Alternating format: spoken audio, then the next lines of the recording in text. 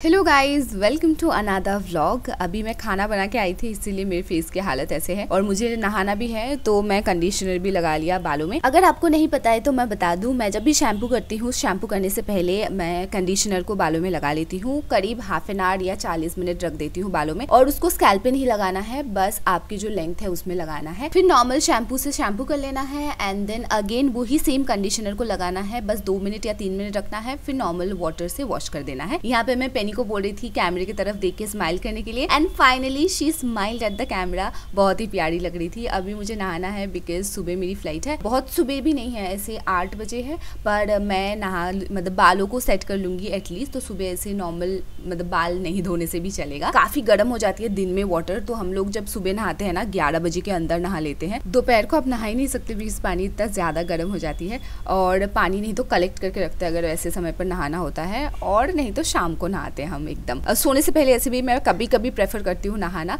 जब मुझे ऐसे हेल्थ सही लगे कभी कभी सर्दी जुकाम ऐसे फील होता है तो नहीं नहाती। और ये जो कपड़े जो भी होते हैं ना हमारे, हम ना छत पे नहीं सुखाते हैं बिकॉज़ अभी ऐसे भी इतना ज़्यादा धूप निकलती है दिन में। छत पे अगर आप कपड़े रख दोगे ना तो वो जल जाएगा। हमारे पास बहुत सारे ऐसे विंडोज़ है बड़े बड़े जिसमें ऐसे हम रस्सी बाँध दिए हैं, एक बैल्कनी भी है तो हम वहीं पे सुखा देते हैं सारे कपड़े। एक सिर्फ़ संडे और कभी भी जब भी हम बेडशीट्स वगैरह धो देते हैं, क्योंकि हम बहुत सारे बेडशीट्स यूज़ करते हैं, दो कमरे हैं उसमें दो बेडशीट्स होते हैं बेड पर और फिर दो सोफे में भी बेडशीट्स लगते हैं। बिकॉज़ अब पेनी सोफे में वो बाल चिपक जाती है, इसीलिए एक कवर भी लगा हुआ है, उसके ऊपर से बेडशीट भी लगे हुए हैं। तो सब कुछ जब ऐसे धो देते हैं ना, तब हम लोग कभी कभी छत पे सुखाते हैं। और ये जो मिनिएचर दिख रहा है ना, ये हम दिवाली के टाइम पर लगाए थे लास्ट ईयर लिविंग रूम में भी दो लगे हुए हैं दोनों साइड पर और इस कमरे में भी। ये ना काफ़ी एक ऐसा कोजी कोजी सा फीलिंग देते हैं तो हम सारे लाइट्स बंद करके मिनिएचर जला के कभी ऐसा अपना टाइम जो स्पेंड करते हैं हम, वो शाम को बैठे बातें करते हैं अच्छा लगता है। पर वो एक साइड से ऐसे ट्विस्ट हो गया था, जो मैं अभी नहीं करूँगी, पूरा खोलना पड़ेगा उसको। अभी मेरे पास टाइम नहीं है, मुझे यूनिफॉर्म आयन करना है। ये वाला आयन का रिव्यू आप कल के वीडियो में देखे होंगे। ये करीब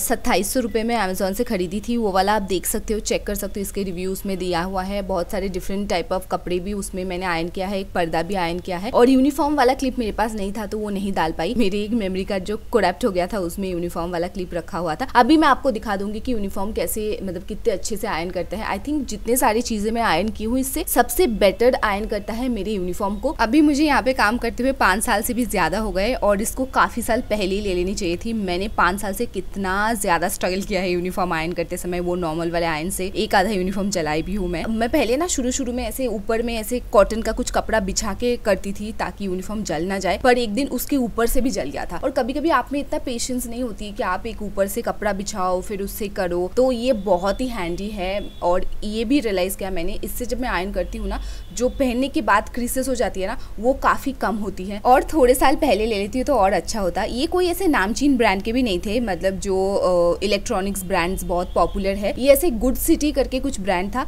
पर इसका रिव्यू ना, वो बाकी सारे जो बहुत पॉपुलर ब्रांड है, उससे भी बेटर था। और प्राइस भी काफ़ी कम थी तो वो जो ब्रांडेड थे, उन सारे चीज़ों का प्राइस कुछ तीन हज़ार नौ सौ निन्यानबे रुपये या साढ़े चार हज़ार ऐसा था। और इसका प्राइस था दो हज़ार सात सौ रुपये तो इसीलिए मैंने ये वाला ले लिया था। आप इसको कहीं पे भी हैंग करके कर सकते हो, बस थोड़ा सा स्टीम जम जाती है, उसको पोछा लगाना पड़ेगा आपको। अगर मेरे जैसे आप कोई ऐसे वुडन दरवाजे के पीछे कर रहे हो, नहीं तो वो जो पॉलिश है वो फेड हो सकता है। अभी मैं यूनिफॉर्म में बैचेस लगा दूँगी। जब भी मैं आयन करती हूँ, तभी बैचेस लगा के रख देती हूँ। एक दिन ऐसा हुआ था, मैं बैचेस नहीं लगाई थी, सोच करके सुबह लगा लूँगी और सुबह मैं भूल गई, फिर ऐसी चली गई थी फ़्लाइट पर। हाँ हमारे जो हैंड बैग है, उसके अंदर होती है extra batches I am very serious when it comes to any of the work और जब भी ऐसा कुछ हो जाता है ना छोटा मोटा जो मैं, मेरे से गलती हो जाती है कुछ भूल जाती हूँ ना। मैं पूरा दिन वही सोचती रहती हूँ कि मेरे से ऐसे गलती कैसे हो गया। When it comes to work everything has to be in a proper way for me जो कि अच्छी बात भी है, पर कभी कभी अपना गलती जो है ना, उसको एक्सेप्ट भी करके छोड़ देनी चाहिए कि कोई बात नहीं, हम इंसान है, गलती हो सकती है। Now I am trying to control that because कोई भी चीज़ ऐसे ज़्यादा हो जाए ना तो अच्छी नहीं होती है।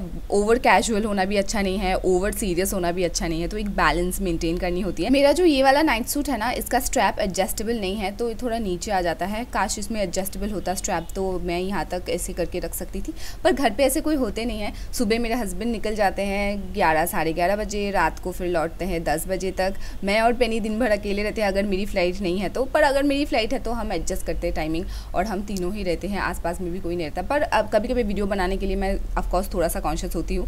And yes Penny was lil tired today नहाने के बाद काफ़ी ज़्यादा भागा करके आई है छत पर नहीं तो इस समय बहुत ज़्यादा परेशान करती छत पर लेके जाने के लिए। जब भी छत पर जाती है, इतना ज़्यादा भागती है कि उसके पॉज जो है वो छिल जाते हैं। वैसे भी दो तीन महीने में वो पॉज जो है उसके ऊपर से जो स्किन है वो निकल जाती है तो तब दो तीन दिन वो नहीं जा पाती है मतलब नहीं दौड़ पाती है, इसीलिए हम दो तीन दिन तक अभी नहीं लेके जाएँगे। यहाँ पे खाना खा लिया। खाना खाने के बाद हमेशा मुझे पूछने के लिए जाती है किचन में कि थोड़ा और मिल सकता है कि नहीं। नहीं दे सकते। अभी बहुत ज़्यादा कॉन्शियस होते हैं हम उसको स्पेशली फीडिंग के लिए। थोड़ा ओवरफीड करने से ही उसको तबीयत खराब हो जाता है, इसलिए हम कम देते क्वांटिटी में, पर ज़्यादा कभी नहीं देते। और आज डिनर में भी हम राइस खाएँगे, दोपहर को लंच में भी राइस खाए हैं। किसी को हम रखे हैं, पता है? और आज वो पहली बार आई थी तो उनको मालूम नहीं था, उन्होंने थोड़ा ज़्यादा राइस बना दिया। तो कल तक वो ख़राब हो जाएगी इसीलिए हम रात को खा लेंगे ख़त्म कर देंगे इसको। आ, पहले भी मेरे पास कोई थे जो खाना बनाते थे मेरे लिए पर अभी करीब एक साल से मैं खुद ही बना रही थी खाना और करीब एक महीने से मेरे लिए बहुत ज़्यादा डिफ़िकल्ट हो रहा था खाना बनाने के लिए। टाइम नहीं निकल पा रही थी मैं। एक तो मेरी काम ऐसी है कोई भी टाइम पर होता है सुबह रात को दोपहर को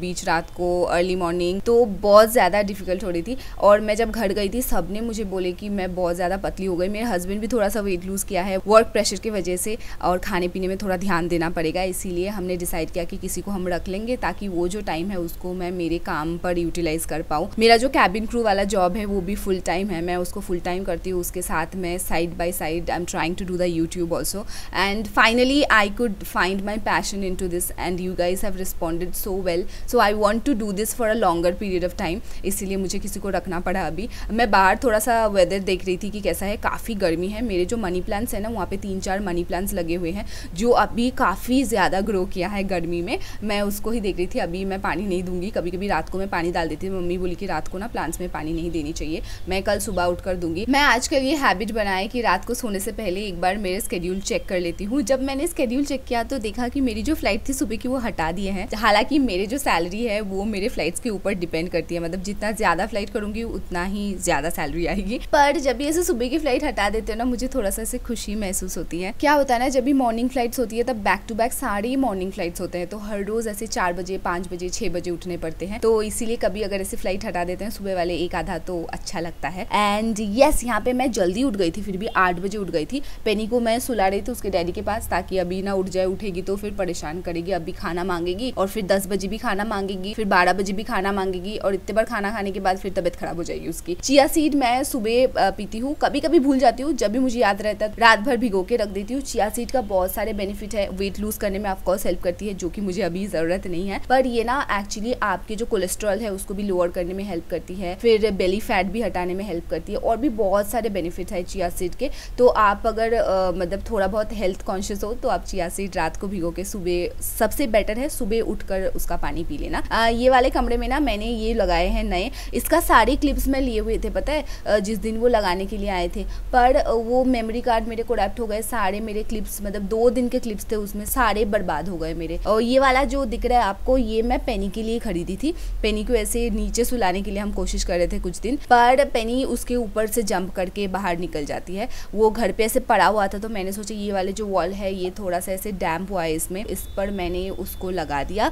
मेरा आइडिया था माई हस्बैंड वॉज़ सेइंग कि नहीं लगाओ, ख़राब हो जाएगा, यहाँ पे मत करो ऐसे, बहुत मुश्किल होगी, धूल जमेंगे। धूल तो हर जगह जमती है ना, पर मुझे तो अच्छा लगा काफ़ी ये, बहुत ही वीडियोस में भी काफ़ी अच्छी लग रही है। और ऐसे पड़ा हुआ था एक जगह, वो एक जगह ब्लॉक करा था, इससे बेटर कि वॉल में हैंग कर दिया मैंने। आप बताना ये आइडिया मेरी कैसी लगी आपको? आज सेकेंड डे था, वो लेडी आई थी खाना बनाने के लिए। कल तो मैं खुद ही चाय बनाई थी, पर आज वो पहली बार चाय बनाई। क्या होता है ना, कुछ दिनों से मतलब कुछ एक साल से मैं खुद ही बना रही थी चाय। पहले जो मेरी आंटी थी, वो बना देती थी चाय। नहीं तो मेरे हस्बैंड भी बनाते। हैं पर मेरे हस्बैंड ना बिल्कुल मेरे जैसे ही बनाते हैं, क्योंकि मैंने ही सिखाए हैं। जब भी मम्मी बनाती है चाय तो उसका टेस्ट डिफरेंट होता है। और आज भी इन्होंने बनाया ना, इसका टेस्ट भी डिफरेंट था। मुझे अच्छा लगा। थोड़ा कम शक्कर डाले हैं, जो कि अच्छी बात है। मैं थोड़ा ज़्यादा डाल देती हूँ कभी कभी लिविंग रूम में जो ये वॉल है ना, ये थोड़ा ब्लैंक था, इसीलिए मैंने अमेजोन से ये फेक विंडो मंगवाई थी जो कि बहुत प्रिटी आया था। और ये तीन छोटा छोटा पैनल अभी ये सब लगाने के बाद ये काफ़ी पुट टुगेदर लग रहे हैं। यहाँ पे मैं आपके कमेंट्स के रिप्लाई कर रही थी। जब भी मुझे टाइम मिलती है ना, मैं आपके कमेंट्स पढ़ती हूँ और रिप्लाई भी करती हूँ। मुझे बहुत अच्छा लगता है यहाँ पे मैं पढ़ते पढ़ते अपने आप में स्माइल भी कर रही थी।